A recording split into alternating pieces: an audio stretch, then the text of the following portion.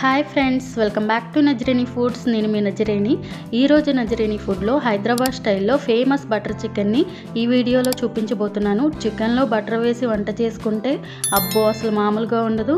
Butter chicken చేసుకోవాలని చాలామంది అనుకుంటారు కానీ అది సరిగ్గా వస్తుందా లేదా తీరా చేశాక బాగోదేమో అని డౌట్ పడతారు. అలాంటి డౌట్స్ ఏమీ అక్కర్లేదండి. అదిరే టేస్ట్తో బటర్ చికెన్ను ఎలా తయారు చేసుకోవాలో చూద్దాం రండి. ముందుగా అరకిలో బోన్లెస్ చికెన్ తీసుకొని చిన్న చిన్న ముక్కలుగా కట్ చేయించుకుని చికెన్ను శుభ్రంగా మూడు నాలుగు సార్లు కడిగి పెట్టుకోవాలి. ఇలా కడిగి పెట్టుకున్న చికెన్లో అర టీ స్పూన్ పసుపు ఒక స్పూన్ కారం ఒక స్పూన్ తందూరి మసాలా రుచికి సరిపడినంత ఉప్పు కచ్చా పచ్చాగా నూరి పెట్టుకున్న అల్లం వెల్లుల్లి పేస్ట్ రెండు స్పూన్లు పెరుగు నాలుగు స్పూన్లు వేసుకోవాలి. అలానే అరచెక్క నిమ్మరసం పిండుకోవాలి. పెరుగు పుల్లగా ఉంటే నిమ్మరసాన్ని స్కిప్ చేసేయండి. చికెన్లో మసాలాలను వేసిన తర్వాత మసాలా అంతా చికెన్ ముక్కలకు బాగా పట్టించి కలుపుకోవాలి. కొద్దిగా కారం తక్కువైందండి. నేను ఇక్కడ హాఫ్ టీ స్పూన్ వేస్తున్నాను. మీరు స్పైస్ తక్కువ తింటే కనుక వన్ టీ స్పూన్ వేసుకుంటే సరిపోతుంది.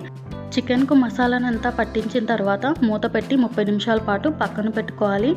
మసాలాలో ఫ్లేవర్స్ అన్నీ చికెన్కు బాగా పట్టి కూరకి ఇంకా మంచి రుచి వస్తుంది.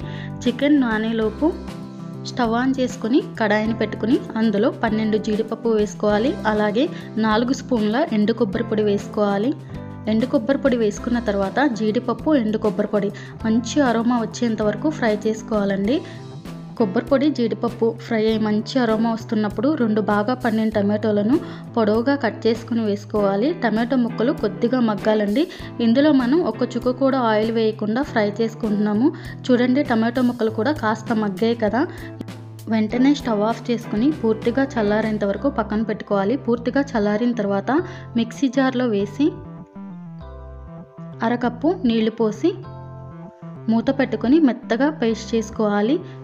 ఇలా మెత్తగా గ్రైండ్ చేసి పెట్టుకున్న పేస్ట్ని పక్కన పెట్టుకుందాము. ఇప్పుడు చికెన్ ముక్కలను వేపడానికి స్టవ్ మీద కడాయిని పెట్టుకొని అందులో పెద్ద స్పూన్తో మూడు స్పూన్లు ఆయిల్ వేసుకోవాలి.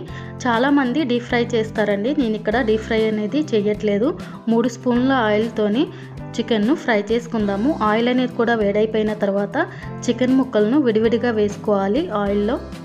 అరకిలో చికెన్ మొత్తం ఒకేసారి ఆయిల్లో వేసి ఫ్రై చేయకుండా రెండుసార్లు ఫ్రై చేసుకుంటే సరిపోతుంది.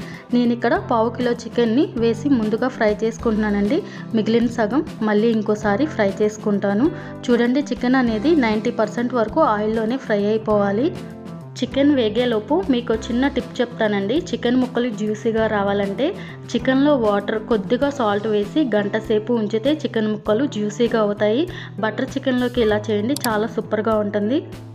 చికెన్ ముక్కలు కొద్దిగా కలర్ చేంజ్ అవ్వగానే వెంటనే స్టవ్ ఆఫ్ చేసుకుని ప్లేట్లోకి తీసుకోవాలి. మిగిలిన సగం చికెన్ కూడా ఇలానే ఫ్రై చేసుకోవాలి. చికెన్ ఫ్రై చేసుకున్న అదే బాండిలో ఒక పెద్ద క్యూబ్ బటర్ని వేసుకుని బటర్ కరిగాక ఒక పెద్ద ఉల్లిపాయని చిన్న చిన్న ముక్కలుగా కట్ చేసుకుని వేసుకుని ఫ్రై చేసుకోవాలి. ఉల్లిపాయ ముక్కలు అనేవి లైట్ గోల్డెన్ కలర్ వచ్చేంత వరకు ఫ్రై చేసుకోవాలి.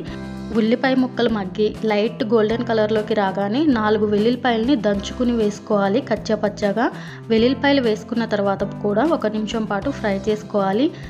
ఇప్పుడు ఇందులో అర టీ స్పూన్ పసుపు ఒక స్పూన్ కారం మీ స్పైస్ని బట్టి వేసుకోండి. అర టీ స్పూన్ జీలకర్ర పొడి ఒక స్పూన్ ధనియాల పొడి రుచికి సరిపడినంత ఉప్పు మీ టేస్ట్ని బట్టి వేసుకొని మసాలాలు మాడిపోకుండా ఒకసారి బాగా కలుపుకొని ఇప్పుడు మంటను లో ఫ్లేమ్లో పెట్టుకోవాలి. ఇప్పుడు ఇందులో ఒక స్పూన్ గరం మసాలా వేసుకుని మళ్ళీ మొత్తం మసాలానంతా ఒక నిమిషం పాటు ఫ్రై చేసుకోవాలి. మసాలాలు కొద్దిగా వేగాక మనం గ్రైండ్ చేసి పెట్టుకున్న టమాటో జీడిపప్పు పేస్ట్ని వేసుకోవాలి. వేసుకున్న తర్వాత ఒకసారి బాగా కలుపుకోవాలి. మంటను లో ఫ్లేమ్లో పెట్టుకుని మసాలాను కలుపుకోవాలండి. మసాలా అనేది మాడిపోకుండా మధ్య మధ్యలో కలుపుతూనే ఉండాలి. ఇప్పుడు ఇందులో అరకప్పు వాటర్ని పోసుకొని మొత్తం మళ్ళీ ఒకసారి బాగా కలుపుకోవాలి. ఇలా కలుపుకున్న తర్వాత మంటను మీడియం ఫ్లేమ్లో పెట్టుకుని వాటర్ మొత్తం ఎగిరిపోయి ఆయిల్ అనేది పైకి తేలేంత వరకు ఉడికించుకోవాలి. చూడండి ఆయిల్ పైకి తేలాక మనం ముందుగా ఫ్రై చేసి పెట్టుకున్న చికెన్ ముక్కలను వేసేసుకోవాలి. చికెన్ను వేసిన తర్వాత బాగా కలుపుకోవాలి. మసాలా అంతా చికెన్ ముక్కలకు బాగా పట్టించండి. చూడండి బాగా కలిపేసుకున్నాం కదా. ఇప్పుడు ఇందులో నాలుగు పచ్చిమిర్చిని మధ్యలోకి కట్ చేసుకుని వేసుకోవాలండి. పచ్చిమిర్చి చీలికలు వేసిన తర్వాత కూడా ఒకసారి కలుపుకోవాలి. ఇప్పుడు ఇందులో రెండు స్పూన్ల టమాటో కెచప్ని వేసుకోవాలి. అలానే గ్లాసున్నర నీళ్ళు పోసుకోవాలి. నీళ్ళు పోసుకున్న తర్వాత ఒకసారి మొత్తం కలుపుకోవాలి. ఇప్పుడు మూత పెట్టుకుని మంటని మీడియం ఫ్లేమ్లో పెట్టుకుని ఐదు నిమిషాల పాటు ఉడకనివ్వాలి. ఐదు నిమిషాల తర్వాత మూత తీసి వావ్ సూపర్ కలర్! అండ్ మంచి అరోమా వస్తుందండి. మా వంటగది మొత్తం చికెన్ వాసనతో నిండిపోయింది. ఇప్పుడు మంటను లో ఫ్లేమ్లో పెట్టుకుని లాస్ట్లో కొద్దిగా కొత్తిమీర తరుగు వేసుకుందాము.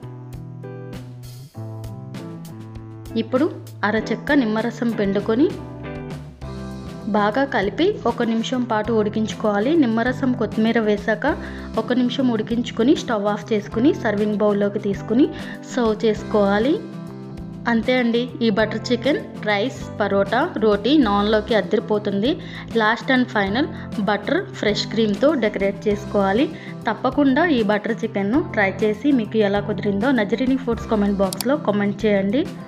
మీరిచ్చే లైక్స్ చాలా వాల్యుబుల్ అండి. ప్లీజ్ లైక్ చేయండి. లైక్ చేసి షేర్ చేసి సబ్స్క్రైబ్ చేయండి.